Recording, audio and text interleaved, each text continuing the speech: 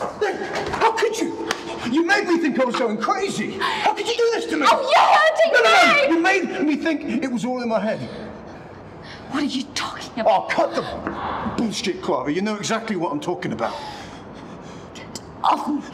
I'm going to ask you Get one last fucking time. hands off Are you using again? Are you using again? Answer the question. Clara. Why? You were doing so well. And all I've done is love you and support you and care for you, and you just, you lied to me again and again. I'm such an idiot. You, you told me that you were clean, and I, I fucking believed you. What, just because you love me and meant to be grateful? You have no idea how fucking boring it is to live with you!